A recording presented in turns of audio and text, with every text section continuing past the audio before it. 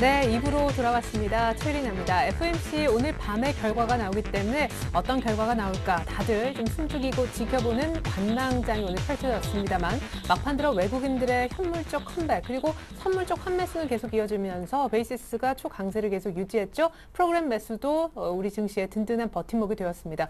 오늘 낙폭을 많이 줄이면서 끝날 것 같은데 1880을 유지할까요? 코스닥은 장중 한 번도 마이너스권으로 떨어진 적이 없는데요. 1120원대에서 마 무리될지 원달러 환율의 종가도 궁금해지는 날입니다. 시황센터 먼저 다녀올게요. 시황센터입니다. 대형 정책 이벤트를 앞두고 시장에서는 관망세가 짙어 보였는데요. 오늘 내림세로 출발한 코스피 지수는 장 초반 한때 상승 반전하기도 하는 등 최근 연속 상승에 대한 피로감으로 상승 반전하기도 했는데요. 최근 연속 상승에 대한 피로감 등으로 하락 전환한 후에는 오늘장 1870선대에서 등락하는 제한적인 흐름을 보였습니다. 막판에 외국인이 다시 매수로 전환을 했는데요. 오늘 1880선 회복은 좀 아쉽네요. 오늘 코스피 마감 지수입니다. 정거래보다 0.21% 하락한 1878선에서 거래 마감했습니다. 오늘 수급상으로는 외국인이 막판 소폭 매수했고요. 어제에 이어서 기관이 오늘도 2천억 원이 넘는 매수세를 보였습니다. 이어서 코스닥 지수 확인해 보겠습니다. 코스닥 지수는 5일째 상승세를 보였습니다. 오늘 소폭 오름세로 출발한 지수는 상승폭을 축소하기는 했지만 개인과 외국인이 매수 우위를 보이면서 상승 흐름을 유지했는데요. 코스닥 마감 지수입니다. 정거래보다 0.2% 상승한 468선에서 거래 마감했습니다. 오늘 코스닥 시장에서는 개인과 외국인이 동반 매수했고요. 오늘 기관을, 기관을 통해서 150억 원 정도의 순매도 집계가 됐네요. 이어서 환율 흐름 살펴보도록 하겠습니다. 오늘 환율은 미국 FOMC와 22정책회의 기대감에 닷새째 하락했습니다. 1130원에서 출발한 환율은 역의 매도가 나타나면서 하락폭을 더 키웠는데요. 마감 환율 살펴보겠습니다. 전거래보다 4원 10전 하락한 1126원 선에서 거래 마감했네요. 이어서 코스피 시가총액 상위 종목 살펴보도록 하겠습니다.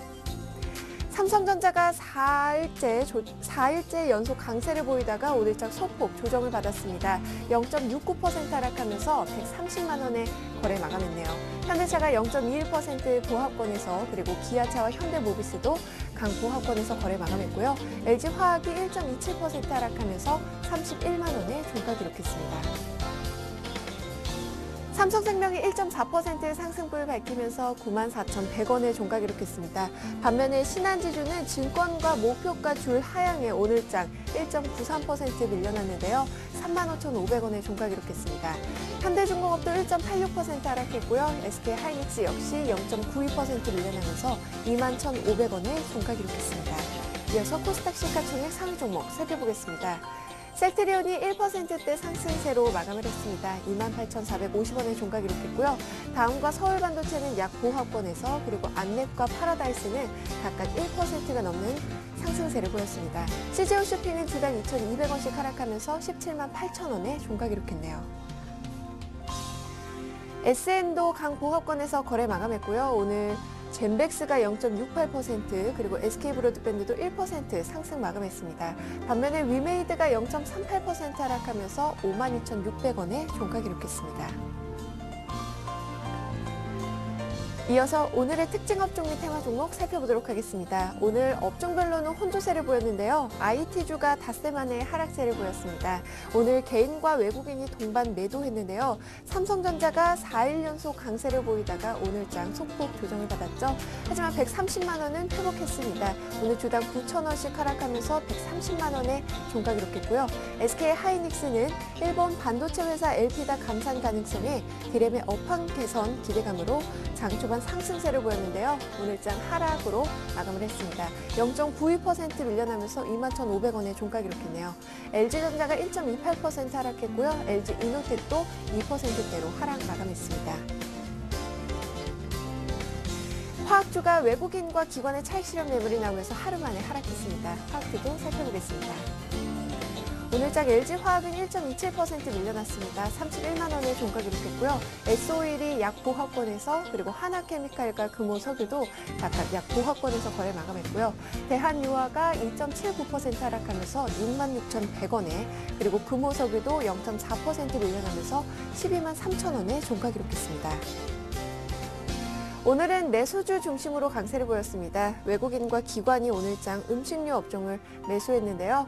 오늘 오리온은 이틀째 상승세를 보였습니다. 주당 2만 7천 원씩 상승하면서 92만 4천 원에 종가 기록했고요.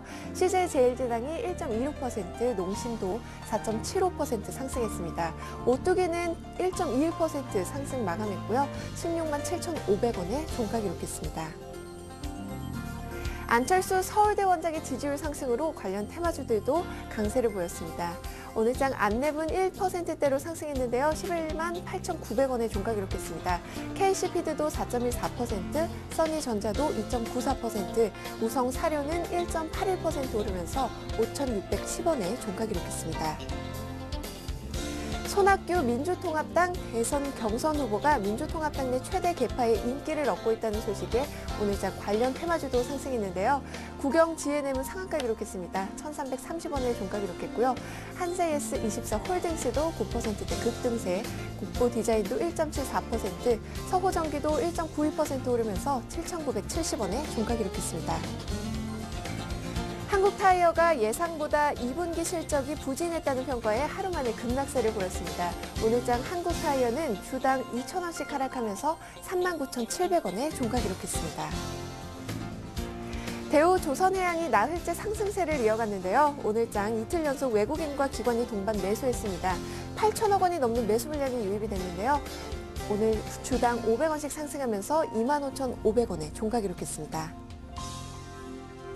한국가스공사가 해외 자원개발 가치 부각 및 실적 개선 기대감에 이틀째 상승했습니다. 오늘 장은 52주 신고가도 경신했는데요. 6.08% 오르면서 47,100원에 종가 기록했네요. 지금까지 시황센터에서 김혜선이었습니다. 네, 자동차주 전부 다 플러스로 끝났고요. 프로그램 매수세가 4천억 가까이 들어온 날입니다. 시장을 둘러싼 이슈, 전문가들의 공감대 먼저 체크해보는 시장 공감대 OX로 2부 본격 출발합니다. 오늘 함께해 주실 두 분은요. 대신증권 상암 DMC 지점의 장준호 대리님 그리고 유진투자증권 잠실 지점에 계시는 전재호 과장님이십니다. 안녕하세요. 안녕하십니까. 네, 자 시장 둘러싼 이슈부터 보고 얘기 이어갈게요. 네, 8월 달 정책 기대 랠리 가능할까? 두 번째, 미국 경제 회복도 될까? 세 번째, 손해보험사 주가가 부진한데 이 같은 주가 부진이 계속 이어질까?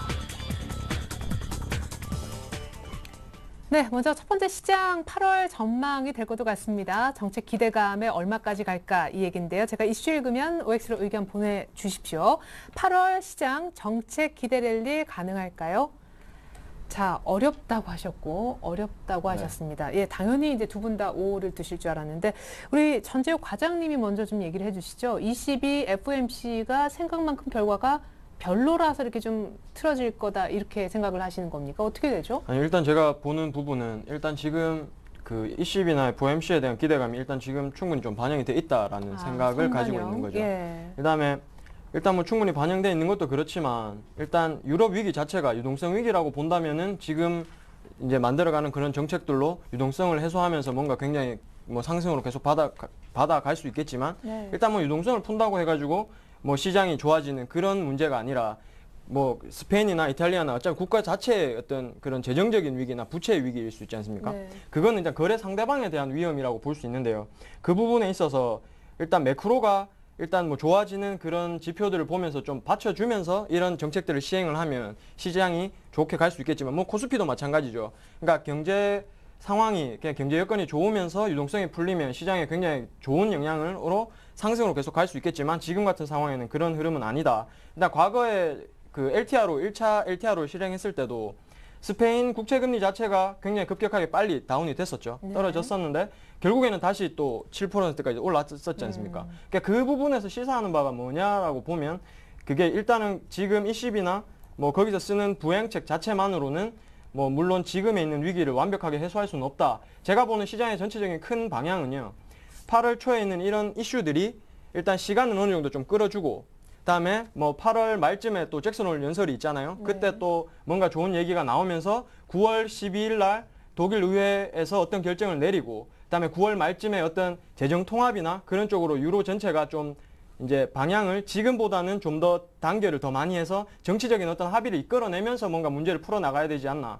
단지 지금에 있는 정책만으로는 좀 부족한 흐름을 보이지 않나 저는 그렇게 보고 있습니다. 아까 어느 증권사의 그 증시 전망 보니까 8월 달을 뭐 나쁘게 본다라기보다는 본격 상승은 9월이기 때문에 거기에서 의견이 같으시잖아요. 그렇죠. 8월 달에 주식을 좀 이렇게 잘 모아두는 그런 달로 그럼 삼으면 좋을까요? 일단은 지금 어느 정도 일단 반등이 좀 급격하게 완, 온 상황에서는 일단 지금 뭐 주식을 사기는 사실 누구나 좀 부담스러운 상황이기는 예. 합니다.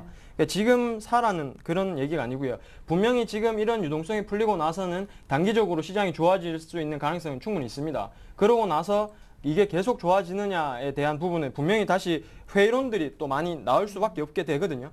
왜- 왜냐하면 지난번에 정책을 펴고 나서 그 다음에 실제로 시장이 뭐 계속 좋아지는 것보다는 어차피 다시 안 좋아지는 방향이 있었으니까 그때 한 매수 시점을 한번 잡아보는 건 어떨까 일단 그런 방향으로 보시는 거죠 일단 큰 그림은 제가 초반에 말씀드린 것처럼 어차피 재정 통합이나 그런 쪽으로 가야 되는 방향으로 가는 거 가는 거에 대해서는 어느 정도 그림을 그려 밑그림을 그려놓고 가시는 게 좋을 것 같습니다. 그럼 단기적으로 조금 더 좋아지고 더 많이 왔지만 더 간다면 한 1900 얼마까지? 예, 뭐 8월 달에. 지수 지수는 사실 뭐 일부 어떤 사람들은 뭐 2천까지 간다 그렇게 얘기하는 분들도 벌써 이제 계시는데 네. 일단 지금 저는 지수대 자체를 지금 지수대에서 일단은 좀 밀릴 거라고 생각을 합니다. 단기적으로. 예. 해외 시장 자체도 일단 제가 봤을 때는 단기 어느 시점까지는 왔다라고 보여지고요. 그다음에 프랑스나 독일 지수 자체도 일단 조금 더 밀릴 거라고 생각이 되고 코스피 자체도 일단 좀 더 밀릴 거라고 보여지고 일단 다시 재차 상승으로 가려면 일단 12, 그 9월 달 초순에 어떤 방향을 잡아야 된다. 그래서 결과적으로는 지금 지금은 일단 지수는 좀 더 밀릴 거라고 보고 있기 때문에 얼마까지 밀립니까? 많이는 또 안 밀릴 거라고 그러던데 결과가 혹 안 좋더라도 예, 알겠습니다. 이게 제가 이게 준비해온 얘기가 좀 다른 얘기가 조금 있어서 이제 네. 얘기를 하자면 이게 8월 증시에는 보면 크리스마스 랠리가 있다거나 뭐 산타 랠리, 1월 효과 이런 게 있지 않습니까? 서머 랠리. 그렇죠. 예. 근데 지금 summer 랠리일까? 저는 사실 아니라고 생각하거든요. 예. 그러니까 8월 달 증시 자체가 역사적으로 봤을 때 좀 안 좋았던 경우들이 좀 많았었습니다. 네. 그러니까 작년 같은 경우에도 미국 신용등급 강등이 8월 달이었죠. 그때부터 시장이 약세장이 좀 시작이 됐었고 네, 저 휴가 갔을 때 강등돼가지고. 예. 네, 그렇게 좀 시작이 됐었던 부분이 있었고, 다음에 뭐 2007년도 8월에도 BNP 파리바 같은 경우에 거기도 유동성 때문에 일부, 일부 헤지 펀드들을 일단은 뭐 안 한다, 폐쇄시키면서 신용 경색이 발생을 했었고, 다음에 뭐 98년도 8월에도 러시아 시장이 폭락을 했었거든요. 네, 이런 8월 달 자체가 시장이 좀 더 꺾일 수 있는 여지는 이런 부분에서도 저는 조금은 생각을 하고 있다라고 생각이 되고요. 네, 8월 징크스. 그렇죠. 예. 이제 그런 게 뭐 무시할 수는 없다라고 생각을 하거든요. 왜냐하면 제가 늘 말씀드리는 거지만 증시는 심리도 작용을 많이 하니까요. 그러니까 제가 준비해온 자료에 보면 뭐 이란이나 이란과 이스라엘에 대한 그런 충돌 부분까지도 제가 좀 언급을 해놨었는데요. 그 부분 자체도 실제로 보시면 1차 세계대전도 8월 달에 발발을 했었거든요. 거기까지 갑니까 지금? 네. 1차 세계대전도 그렇고 독일이 러시아를 침공했을 때도 8월이었었고요. 예. 다음에 이제 소비에트 연방이 체코슬로바키아를 침공했을 때도 이상하게 8월이었어요. 근데 북한이 우리나라에 쳐들어온 건 6월이잖아요. 그렇죠. 예. 그때는 6월이었지만 광복을 한 건 또 8월이었죠. 아우, 자, 아니 그래가지고 우리 코스피가 어떻게 되는 그렇죠. 거예요? 그래서 이번 8월에. 코스피는 8월 달에는 일단 안 좋을 거라고 방향을 잡고 가시는 게 좋을 것 같고요. 제가 하단쯤 보시는 거는 전제점까지 본다고 보는 게 좋을 것 같습니다. 1750이요? 1750 뭐 그만큼까지 완전히 빠지는 것보다 일단 전제점까지는 한번 저는 열어놓고 가시는 게 좋을 거라고 생각이 되고요. 아. 그때부터 다시 강한 반등을 9월 달에 재정 통합이나 이런 이슈들을 보면서 가는 게 저는 좋을 거라고 생각이 되고요. 예, 저는 쭉- 일단 비관적으로 일단 8월 달 안 좋게 보는 입장입니다. 네, 쭉 한번 밀리는 그림이 8월 달에 나왔다가 이제 9월에 가는 그 얘기를 해 주셨습니다. 자, 중간에 이제 같이 웃기도 했는데 우리 장준우 대리님의 생각은 어때요? 어쨌거나 큰 그림에서 X 들었어요. 예, 우선적으로 저는 이제 예상외로 좀 랠- 랠리가 좀 이어져서 좀 상당한 급등 가- 급등했지만 저는 이게 아- 아무래도 박스권 이탈은 좀 힘들다가 힘들다고 좀 보고 있습니다.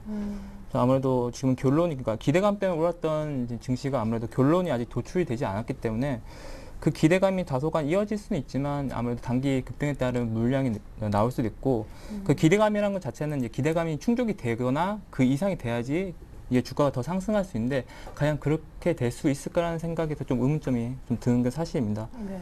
어, 지금 같은 경우에는 솔직히 유럽 쪽에서 이제 마리오 드라기 이제 ECB 총재가 이제 강력한 립 서비스로 이제 이번에 좀 증시가 오른 거는 뭐 마리오 아 드라기 랠리라는 게 명칭이 이제 써, 써져 있는데 뭐 슈퍼 마리오 뭐 예, 네. 그렇게 했는데 아무래도 조금 저는 독일이 이제 유럽 문제 해결에 좀 소극적이지 않나 생각이 들기 때문에 음.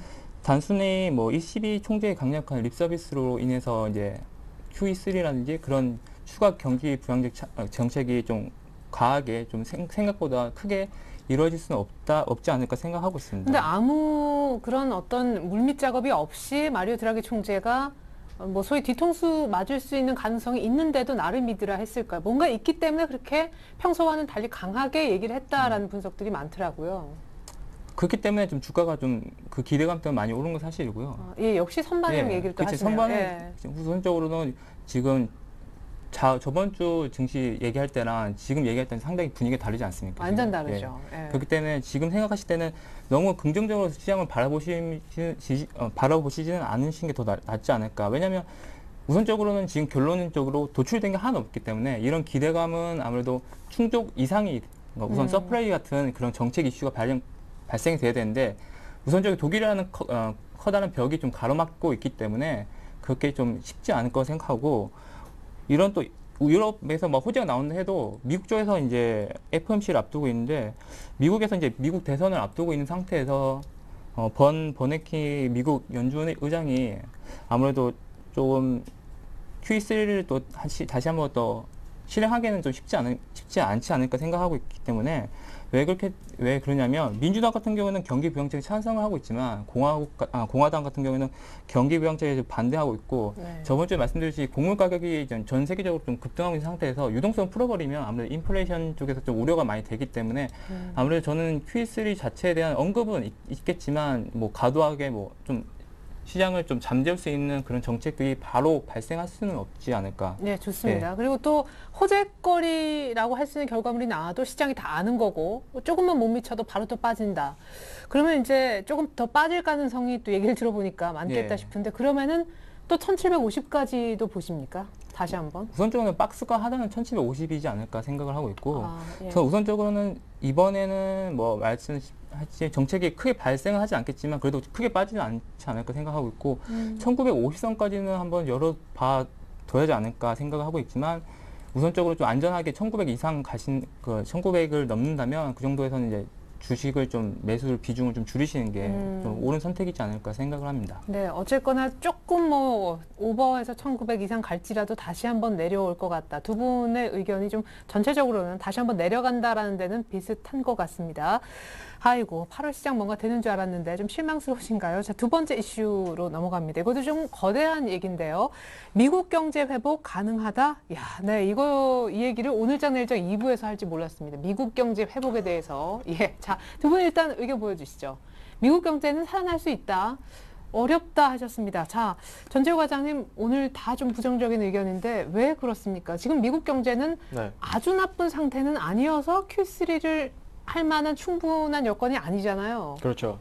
그 지금 제가 나쁘다라고 했던 건 지금이 너무나 안 좋아서 너무 계속 안 좋아질 거다 이거보다 좋아질 수 없다라는 얘기를 음. 하고 싶어서 안 좋다라고 얘기를 했고요. 네. 네, 이 부분에 있어서 사실 지금 그 미국에서 금융 버블이 꺼지고 나서 회복하는데 지금 시간이 좀 많이 걸리고 있죠. 지금까지도 정상적으로 돌아온 게 아니니까 시간이 계속 많이 걸리고 있는데 그 이유가 미국 시장에서 가장 중요한 지표라고 볼 수 있는 게 뭐냐면 소비 지출이랑 고용이거든요. 네. 근데 소비 지출 바- 부분에서 봤을 때도 이번에 얼마 전에 발표를 했었죠. 발표했는데 이게 그 전월이랑 이게 똑같았어요. 보합이었는데 어차피 성장세 소비 지출이 계속 늘어나지 않는다.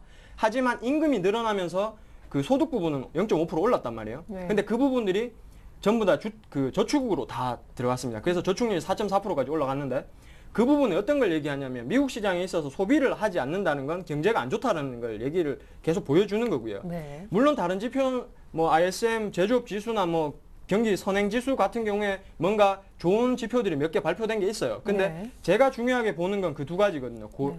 고용이랑 그다음에 그 소비 지출 그 두 개가 회복이 되지 않으면 미국 경제는 사실 좀 어렵다. 이런 게 왜 계속 반복이 되냐면 가게에서 돈을 쓰지 않는데 기업에서 고용을 할 수 없고 네. 기업에서 고용을 하지 않으면 가계 지출 그 가계에 대한 소득이 계속 늘어날 수 없고 그런 부분이 계속 이제 악순환이 계속 될 수밖에 없는 상황에서 어떻게 해결해 나갈 거냐 그 부분인데요.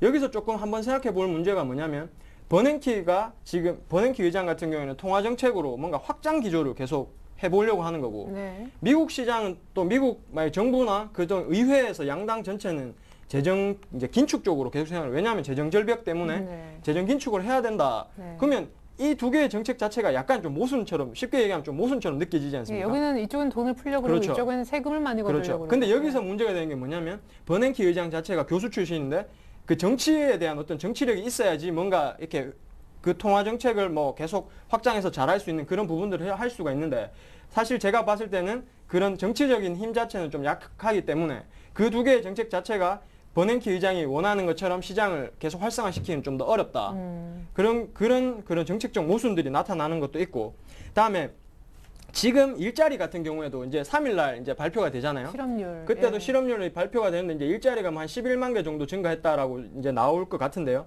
그 수치를 보시면은 지금 수치가 이제 일자리 한 개당 지금 세, 이제 미국 사람이 네 명이 달라붙는 그런 상황이거든요. 네. 근데 2007년도에는 어땠냐면 일자리 하나당 두 명이었어요 그러면 네. 얼마나 지금 고용 고용 시장이 굉장히 안 좋냐. 네. 그걸 이제 극단적으로 보여주는 거거든요.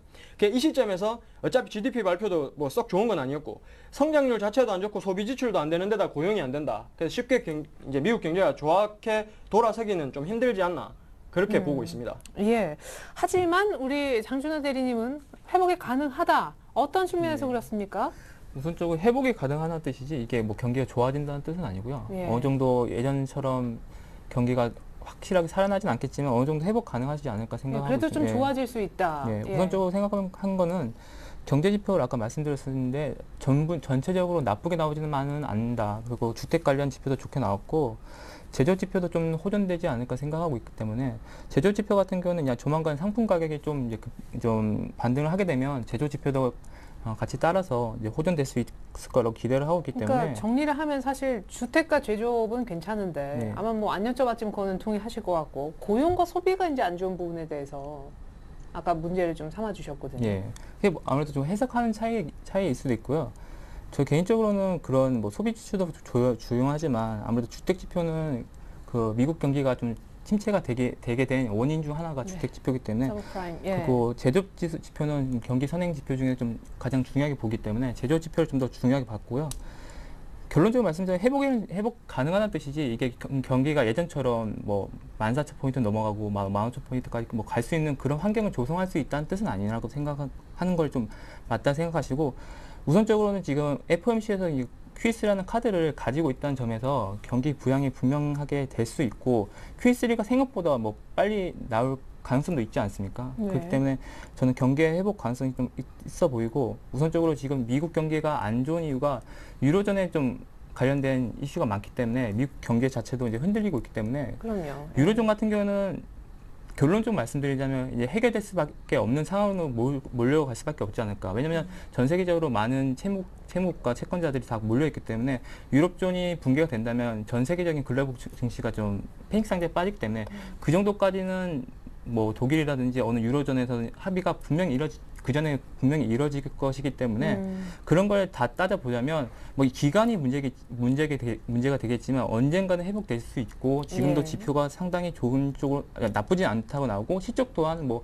좀 나쁘게 봤지만 생각보다 나쁘게 네, 나오지 예. 않고 그렇기 때문에 저는 어 뭐 물론 제가 하반기 때 좋아진다 뭐 내년 상반기 때 좋아진다 이렇게 말씀 못 드려도 예. 회복하는 추세로 가고 있지 않나 지금 저는 예, 그렇게 예. 보고 있습니다. 그래요. 안 그래도 유럽 때문에 좀 영향인데 유럽이 어떤 식으로 풀린다면은 미국도 유럽 빨고 타격은 좀 회복이 될 수 있겠죠. QE3 카드도 아직 안 나온 상황이고요. 자 마지막으로 손해보험사, 이 손해보험주에 대한 전망인데요. 손보사 주가 부진한데 이렇게 계속 부진하기만 할까요? 자, 손보사 주가 회복이 예, 그러니까 부진하기만 하진 않을 거다. 좋아질 거다. 계속 부진할 거다. 네. 예, 오늘 뭐 작정을 하셨군요. 좋습니다. 우리 자 장승현 대리님께 먼저 예. 좀 여쭤보고 싶어요. 지금 얼마 전에 며칠 전에 자동차에 네. 대해서 그 요율을 또 한 번 뭐 2% 내린다라고. 네. 손보사한테는 악재잖아요. 그날도 많이 좀 내린 걸로 알고 예. 있는데요. 우선적으로 지금 자동차 보험료 추가 인하나 뭐 자보 요율 추가 인하 가능성과 뭐 실손 관련된 이제 정규 정보의 정부의 규제 리스크 가 있고 최근에 또 시중 금리가 좀 내렸기 때문에 그런 관련된 것 때문에 좀 그냥 하락 그냥 가동화 하락 있지 않나 싶- 싶었고 개인적으로 그건 좀 가민하게 좀 반응하지 않았나 생각을 하고 있기 때문에 왜냐하면 저는 좀 주가를 볼 때 좀 더 중요하게 보는 거는 이런 어떤 이슈보다는 아무래도 실적이 좀 더 중요하지 않을까 음. 생각돼요. 지금 같이 주가 내린 거는 좀 주가 부진은 양호한 시작에 비해서 좀 약간 과도하게 좀 가미하게 좀 반응을 하지 않았나 생각이 들고 손보사 상위 5개사 같은 경우에는 이제 천 그러니까 올해 같은 경우에는 1분기 순이익이 6,047억 원입니다. 이건 최대 시작이었던 전년 동기 비해서 거의 유사한 수준이고요. 어. 6월 순이익 역시 이제 2,021억으로 21억 원으로 전월 비, 전월에 비해서 이제 조금 소폭 개선이 됐습니다. 이런 걸 본다면 오히려 지금같이 어, 지수 변동성이 커지고 좀 장이 불안할 때 이렇게 좀좀 시점은 좋은데 좀 저평가되신 중- 종목을 좀 매수한 것도 좋은 선택이지 않을까 해서 좀 제가 좀 손보세에 관련된 이야기를 좀 드리고 싶었고요. 예. 그러면 사실 예. 그 1분기 실적 뭐 이렇게 실적이 일단 나쁘지 않았다라고 하셨었는데 그 중에서 또 빅5 기준 누가 조금 더 음. 장사를 잘했는지. 우선적으로 지금 어, 손해보호사 중에서 어, 최선호주를 고른, 고른다고 한다면 동부화재 같은 경우는 구름 리스크 때문에 지금 최근, 최근 좀 가격이 좀 주가가 많이 빠진 경, 경, 어, 경향이 있습니다. 그렇기 때문에 네. 동부화재 같은 경우는 좀 충분히 매수할 수 있지 않을까 생각하고 그, 그 삼성화재 또한 이제 최선호주로 제가 뽑고 있는데 그 이유는 아무래도 지금 다른 이제 손보다보다 이제 신계약 성장률이 좀 높아지고 있는 상태고 네. 아무래도 삼성화재 같은 경우는 자사주 방어할 수 있는 능력이 다른 그룹주에 동부화재나 이런 그룹주에 비해서는 좀 뛰어나지 않나 그렇게 생각하기 음. 때문에 저는 삼성 이제 어, 삼성화재랑 동부화재는 좀 빅5 중에서도 좀 최선호 주로 좀 꼽고 있습니다. 예, 뭐 손보사에 대해서 조금 더 뭐 하실 말씀 아까 있으신데 제가 말씀 끄는 것도 같아서 해양률도 약간 높다는 저는 그 소식을 어디서 들었는지 모- 모르겠는데 아무래도 경기가 안 좋아지고 네. 내 지갑에 돈이 별로 없으니까 이거 뭐 보험 일단은 요거는 뭐 그렇게 급한 게 아니잖아요. 만일에 대비한 게 보험이잖아요. 음, 근데 뭐 그 한 달뭐 뭐 해약이 많이 될 수는 있겠지만 우선적으로 실적의 가능, 가능성을 보면 그 해약률이 뭐 지금 당장 이렇게 큰 게 반영이 되니까 크게 뭐 해약이 되지 않는다면 실적에 그렇게 큰 영향 미칠 정도의 음. 미치 아 미칠 정도의 그 수준은 아니다 그렇게 보시면 되지 않을까 네. 생각합니다. 자, 손보사는 일어날 거고 지금 좀 오버해서 많이 빠졌다. 동부화재, 삼성화재를 오히려 사도되는 토픽 종목으로 언급까지 들어봤습니다. 하지만 손보사의 주가는 지금처럼 계속 안 좋을 거다. 왜 그렇죠? 예, 제가 지금 제가 일주일마다 한 번씩 나오는데요. 지금 손보사 안 좋다. 일단 장기적으로도 저는 일단 그렇게 좋게 보지는 않고요. 그 이유가 뭐냐면 아까도 말씀하셨는데 이게 신계약 성장에 대한 우려가 분명히 있습니다. 이 부분에 대해서는. 네. 왜냐하면 이건 실제 통계로 봤을 때도 2010년도 이후로 지금까지 봤을 때 신계약 그 인보험 성장률 자체가 이제 해, 그 성장률도 조금 낮아지는 부분이 있었고 그다음에 해약률 자체가 18%로 계속 증가를 했었거든요. 음. 하면 보험 해약은 계속 나오고 있다. 뭐 경기가 지금 안 좋으니까 뭐 아까 마- 그 앵커님께서 말씀하신 것처럼 뭐 굳이 이걸 계속 할 수 있냐 뭐 그런 부분은 좀 나타날 수 있다는 거고요. 네. 그다음에 지금 굳이 이제 손보사에 대한 얘기가 나와서 말인데 지금 제가 안 좋다라고 얘기를 한 건 지금 굳이 서- 손해보험 쪽을 사야 되냐 저는 아니다라고 생각을 하는 입장을 이제 좀 더 밝히는 음. 게더 가깝다고 생각이 되고요. 단기적으로 봤을 때 오늘도 지금 뭐 삼성화재나 뭐 LIG 같은 경우에는 오늘 좀 올랐는데요. 그러니까 이- 이게 보면은 이제 경기 방어적으로 어떤 역할은 할 수가 있다고 봅니다. 경기 역할을 할 이제 방어적으로 할 수는 있다고 보지만 장기 추세를 봤을 때 코스피 대비해서나 전체 이제 글로벌 시장에서 보험 주가를 대비했을 때 실제적으로 지금 우리나라에 있는 손보주 자체가 이렇게 상승 흐름으로 계속 잘 가고 있다고 보여지지 않거든요. 그러니까 주가 자체를 봤을 때도 뭐 많이 빠졌다라고 볼 수도 있지만 이건 왜 이래 못 갈까라고도 생각할 수 있는 거거든요. 예. 그렇죠. 주가 자체도 사실은 좀 상승 기조로 가는 부분을 이제 뭐 투자분들도 많이 이제 관심을 가져야 되시는 거고 굳이 안 좋다는 거 또 정부 규제 리스크가 계속 있는 그런 잡음이 있는 주식은 안 하는 게 좋을 것 같다. 저는 그런 입장을 바- 이제 뭐 말씀드리기 위해서 손보사는 굳이 지금 만질 필요가 없다라는 입장을 그냥 가지고 있는 겁니다. 예, 좋습니다. 뭐 손해보험사가 계속 주가 흐름이 안 좋을 거다 이 얘기라기보다 굳이 좀 여러 가지 악재와 우려가 있는 선보주를 매매할 필요가 있느냐 여기에 대해서 또 의문을 조금 제기를 해주셨습니다. 자, 이렇게 해서 두 분의 전문가와 함께 아주 큰 그림부터 손해보험 주가 전망까지 얘기 나눠봤습니다.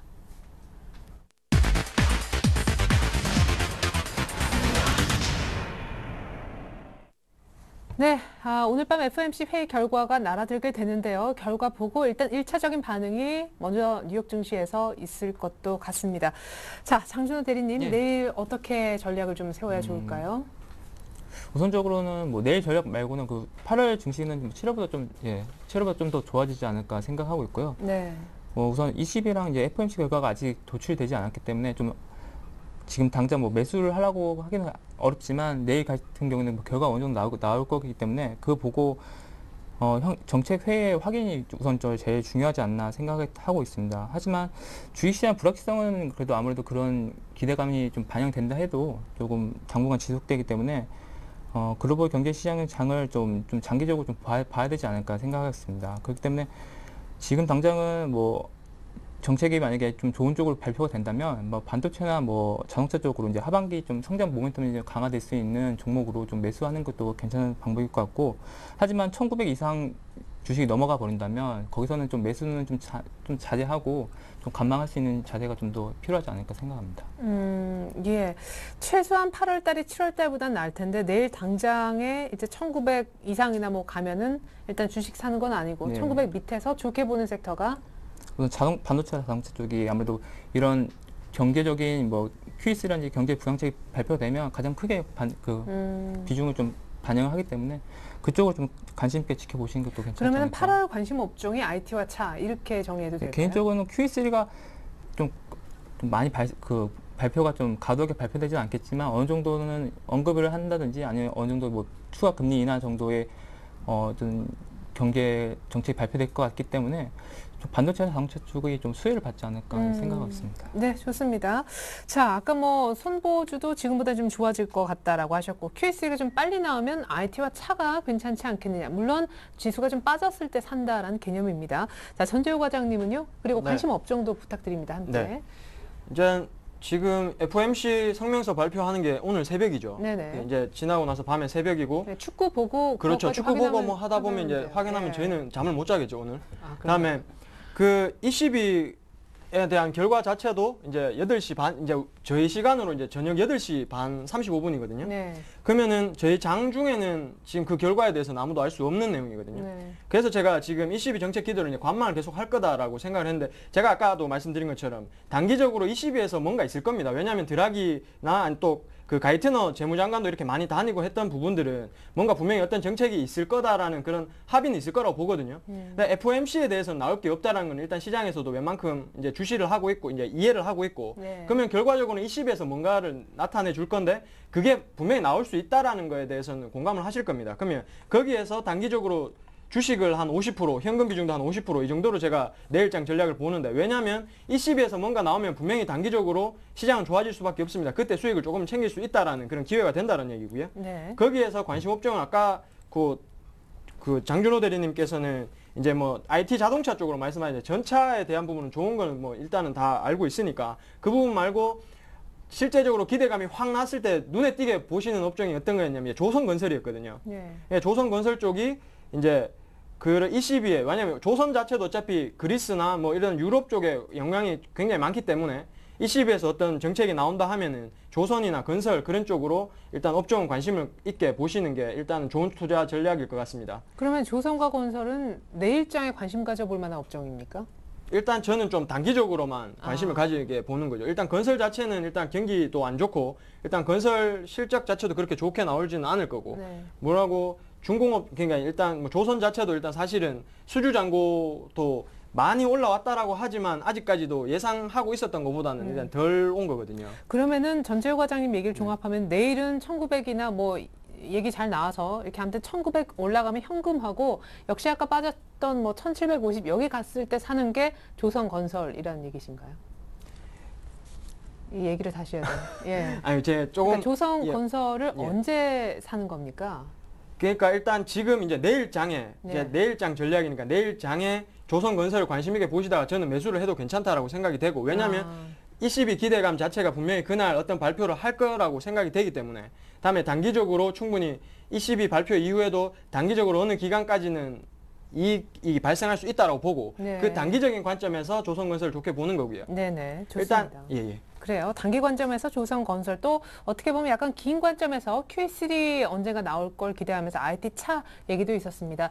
여의도 쪽 생각은 어떨까요? 8월 첫 거래일에 마감이 이미 된 상황인데요. NH투자증권의 김중원 연구위원 만나보겠습니다. 안녕하세요. 네, 안녕하세요. 네, 지난주하고 분위기가 180도 달라요. 연저점에서 지금 1900 바라본다 뭐 이런 얘기까지 나왔는데 8월 첫 거래가 끝났습니다. 오늘 잠깐 정리 부탁드리고요. 당장 그 스케줄에 따른 대응 전략법 8월 전망도 좀 같이 부탁드릴게요. 네, 뭐 금일 증시 시황 말씀드리면 뭐 뭐 금일 밤 FOMC 결과 발표가 예정돼 있는데 미 뉴욕 증시가 경계감에 따라서 한 2거래일 연속 조정을 기록했고요.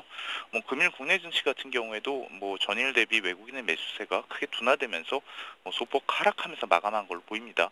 업종별로 보면은 뭐 보험, 음식료, 운수 창고 업종이 상대적으로 높은 수익률을 기록해서요. 어, 최근 증시가 아, 가파르게 상승하는 구간 상대적으로 소외되었던 업종 중심으로 좀 양호한 수익률을 기록한 걸로 보입니다. 우리 김종원 연구위원님 지난번 연저점 때 연결했을 때 물론 그 전주에도 그러셨던 것 같고 8월 중순까지는 시장이 약세를 띨 것이다. 3분기 이 지표가 좋아지는 거 볼 때까지는 아마 시장이 그럴 것이다 했는데 생각 외로 좀 오버해서 빠르게 왔잖아요. 진짜 이제 8월이 시작됐습니다. 남은 기간 어떤 모습 보일까요? 네, 뭐 기존의 스탠스에서 좀 바뀌는 건 없고요. 뭐 그와 관련된 얘기를 드리려고 하는데요. 네. 뭐그 사이에 있었던 것이 뭐 그 드라기 총재의 발언이었고 이런 것들이 어느 정도 증시 추가 조정을 지연시켜준 효과를 시간을 좀 벌어준 효과가 있었던 걸로 보입니다. 금일 밤 FOMC 같은 경우에 뭐벤 버네킨 연준 의장이 어, 빈손으로 좀 나올 가능성이 높기 때문에 아무래도 그런 부분은 좀 기대할 게 없을 것 같고요. 어 그리고 이제 8월 3일 그에 이제 우리 시간으로 8월 3일 날 22 통화정책 회의에서 어가 이제 결과가 나오는데 아무래도 시장 기대보다는 그 좀 못한 결과가 도출될 가능성이 있다는 점에서 단기적으로 증시 조정의 가능성이 있습니다. 뭐 시장에서는 근본 22 통화정책 회의에서 기대하는 것이 한 네 가지 정도가 될 것 같은데요. 첫 번째로는 이제 기준금리 인하 그리고 뭐 3차 LTRO 그 다음에 스페인의 국채 매입 그리고 이 ESM에 대한 은행 라이센스 허용 등인데 아직까지 이 부분에 대한 그 독일의 부정적인 태도가 뭐 크게 바뀐 걸로 판단되긴 힘듭니다. 그렇다 보니까 금번 2일의 통화정책 회의에서는 뭐 나올 수 있는 정책들이 뭐 기준금리의 추가 인하 그리고 스페인의 국채 매입 정도로 마무리될 가능성이 좀 높다고 보이는데요. 어, 결국 기대가 고조된 FOMC와 뭐 8월 22 통화정책 회의에서 시장 기대를 충족시키지 못할 가능성이 높기 때문에 뭐 이에 따른 증시 단기 조정은 가능할 걸로 보입니다. 이제 다만 이제 그 말씀드렸던 취지가 이제 2분기를 저점으로 글로벌 경기가 3분기 이후부터는 좀 회복, 다소 회복할 수 있을 걸로 보이는데요. 뭐 금일 같은 경우에 뭐 한국 정부도 어, 뭐 2012년 한국 경제 성장률을 2%대도 가능할 거를 그렇게 분인하지 못했는데 아, 그만큼 경기 둔화에 대한 우려가 우려가 어, 좀 굉장히 고조된 상황이고 어, 그런 부분은 오히려 지금이 저점을 지나고 어, 이후부터는 좀 개선될 가능성이 있다라고 볼 수 있습니다. 결국 뭐 글로벌 경기가 뭐 2분기를 저점으로 이후부터는 좀 전진적으로 회복할 걸로 보이는데요.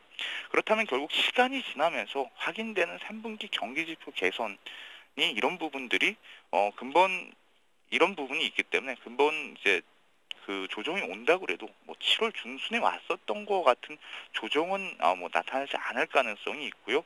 아 그렇지만 이제 섣불리 저가 매수에 좀 나서기보다는 일단은 지수 조정을 확실히 하긴 한 이후에 대응하는 것이 좀 바람직할 걸로 보입니다. 네, FOMC든 ECB 통화정책 회의든 약간 실망스러운 결과가 나올 텐데 단기 조정이 예상되지만 그 조정을 매수의 기회로 활용하지 말고 확실히 그 저점에서 올라오는 걸 확인하고 뭔가 매수에 들어가자라는 얘기시죠? 네, 뭐 일단은 어 단기 조정이 올 때 어느 정도 사는 것도 괜찮은데 다만 이제 뭐 그 조정을 충분히 받지 않은 상황에서 저가 매수를 뭐 나서기보다는 네. 3분기 경제 지표가 개선되는 부분이 확인되는 데 있어서는 아무래도 뭐 가파르게 갑자기 3분기부터 나타나는 지표부터 개선되는 것이 아니라 어, 시간이 좀 걸리다 보니까요. 뭐 금일 나왔던 중국 PMI도 전월 대비 좀 소폭 하락한 걸로 나오는데 물론 이제 계절성 같은 걸 고려할 때 나쁘진 않습니다. 그렇지만 이런 식으로 그 개선이 추이가 다소 완만한 방향으로 나올 수 있다는 관점에서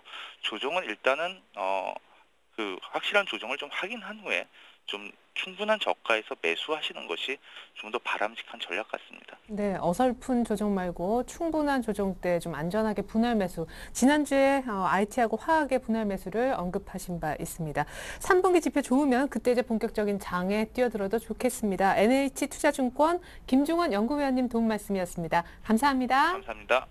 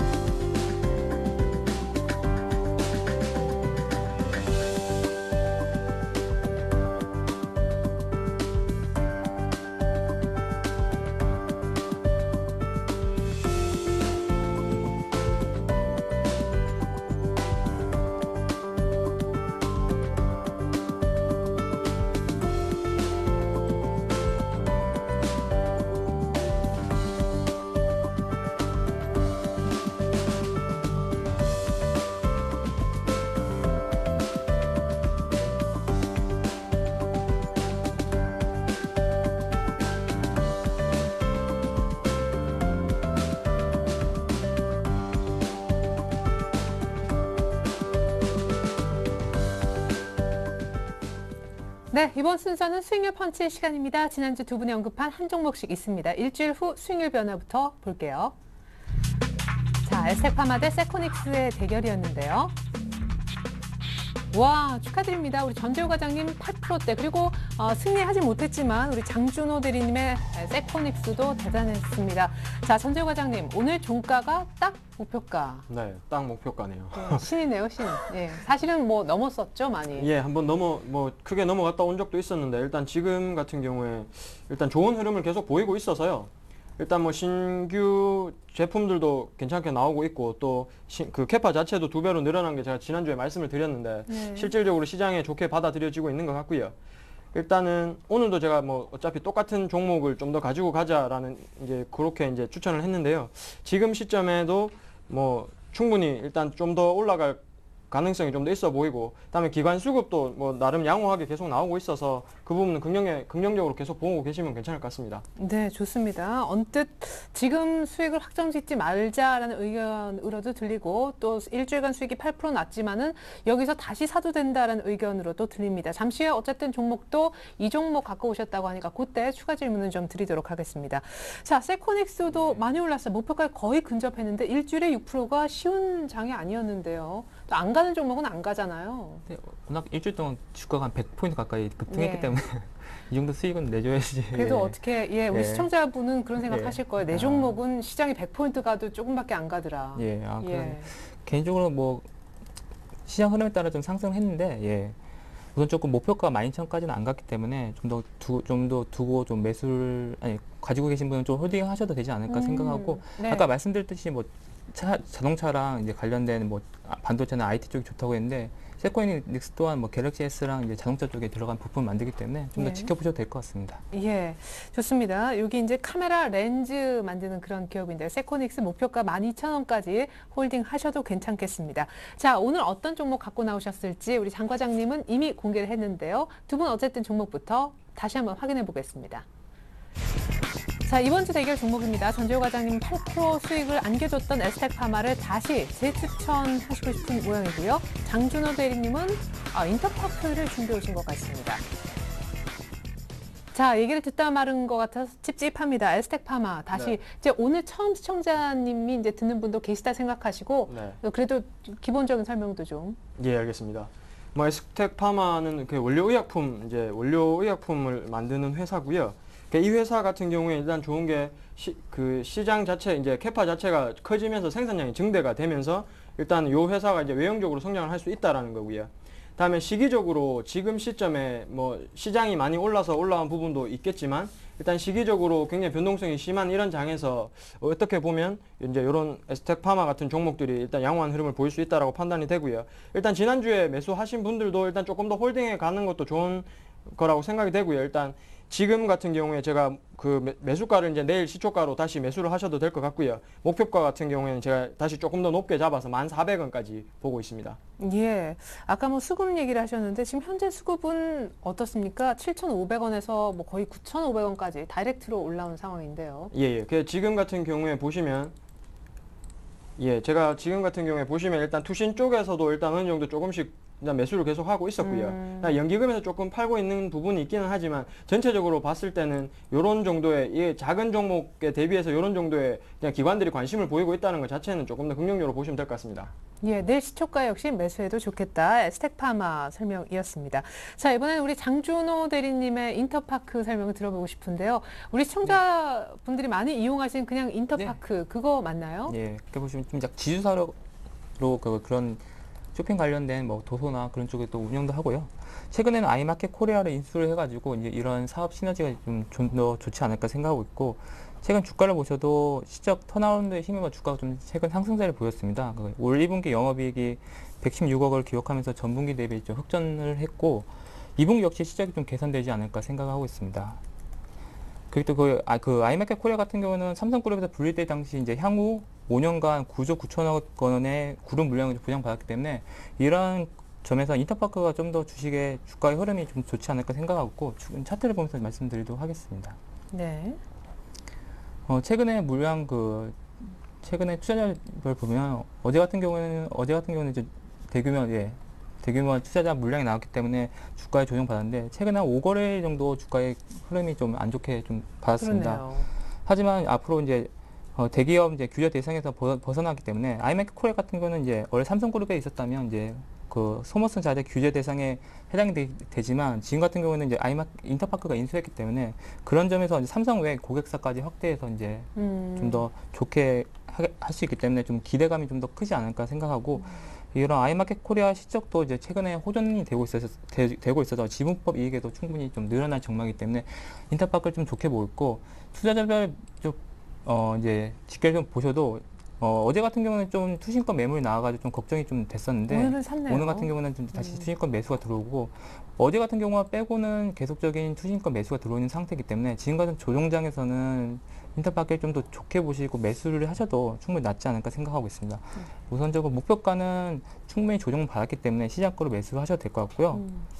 아, 매수가는 시장가로 매수해도 될 것 같고 네. 목표가는 한 6천 원, 그러니까 전 고점인 6천 원까지는 충분히 갈 수 있지 않을까 생각합니다. 저 개인적으로는 6천 원 이상도 충분히 갈 수 있지만 일, 일주일 동안 목표가는 6천 원 잡고 어, 손절가는 이제 5천 원 이하로 내려가면 아무래도 주식 전반적인 이제 주가 흐름 자체가 좀 나빠지지 않나 생각하기 음. 때문에 5천 원 이하로 이제 주가가 내려가게 된다면 가감하게 손절을 하시는 것도 생각을 해 두셔야 될 것 같습니다. 네, 좋습니다. 이번 주 펀치 종목 압축됐는데요. 다시 한번 제가 대신 정리해서 보여드립니다. 에스텍파마드 인터파크 지난주에도 에스텍파마로 이미 8% 수익을 얻던 네, 그런 전재호 과장님입니다. 재추천이 나왔는데요.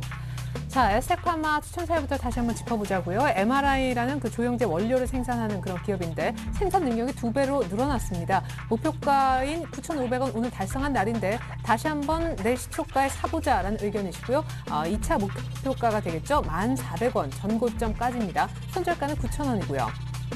자, 장준호 대리님의 추천주 인터파크는요, 자회사 실적 개선, 어, 인터파크의 실적도 좋아질 것이다. 1분기에도 이미 흑자 선언을 했는데요. 2분기에도 낙관적인 불가 지금 나오고 있습니다. 역시 충분한 조정을 받았고요. 오늘 추신권은 다시 사기 시작했습니다. 내시초 매수 1차 목표가는 6,000원이라고 하셨습니다. 네, 수익률 대결 결과는 다음 주 이 시간에 공개됩니다. 두 분 오늘 도움 말씀 잘 들었습니다. 맞습니다. 이제 서울은행 TV를 KT 올레 IPTV 채널 번호 184번에서도 시청하실 수가 있다고 합니다. 많은 관심과 시청 부탁드리겠습니다. 저는 내일 다시 올게요. 고맙습니다.